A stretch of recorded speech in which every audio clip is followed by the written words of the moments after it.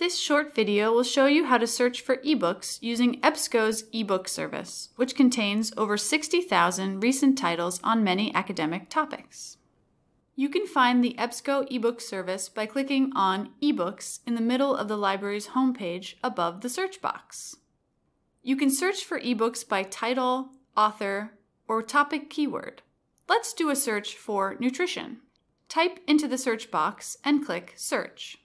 If you are off campus, you will need to enter your seven digit student ID number as your username. Your password is your last name in all capital letters. From the results page, click on All Filters to see options for filtering the results. With Date Range, you can select only recent titles. To limit the results even more, click on All Filters and explore the options for subject and category. This will make your search more specific.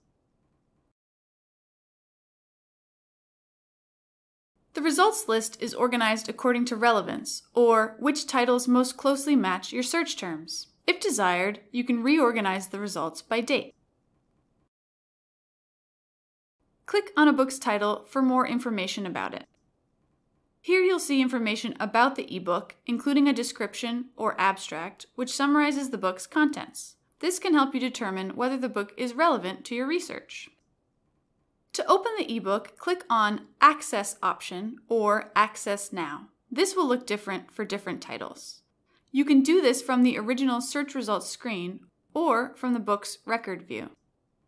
The right-hand side of the screen shows you the chapters in the book.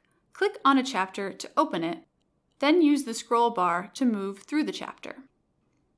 At the top right of the screen, there are options to save, cite, share, or print pages from the ebook. Please note that publishers might limit the number of pages that can be saved, emailed, or printed. The citation tool gives you several citation styles, including MLA and APA. Make sure you know which style is required for your assignment.